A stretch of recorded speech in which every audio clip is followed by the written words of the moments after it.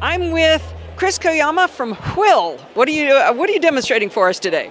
Hi, so um, we have a unique mobility device that allows you to turn on the spot.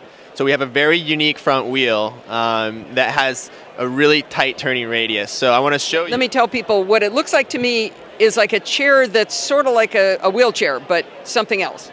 Right, so a lot of people reference uh, Professor X uh, from uh, the Marvel's uh, X-Men that uh, looks very futuristic. Um, we emphasize a lot on design uh, and technology, so it has a very cutting edge look.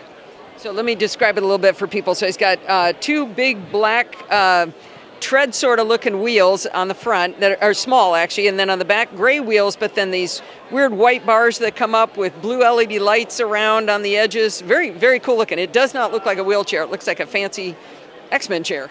Right. So we have an ex Nissan product designer uh, who works on the design, and also as well as uh, engineers from. Uh, uh, Toyota, Sony, and Olympus working on this. So we have a lot of smart people working on this, and we work on a lot of the technology aspect of it.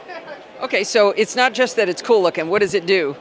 So I want to show you about the, the tight turning radius. Um, so I can turn on this spot.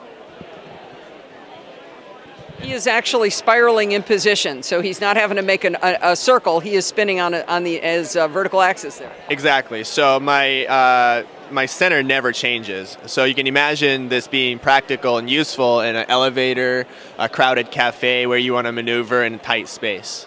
Oh, yeah, yeah, yeah. An elevator would be a perfect position for it. Now, what about it's doing pretty well on carpeting? How about outdoors? Right, so it's actually four wheel drive, so it does really well on trains.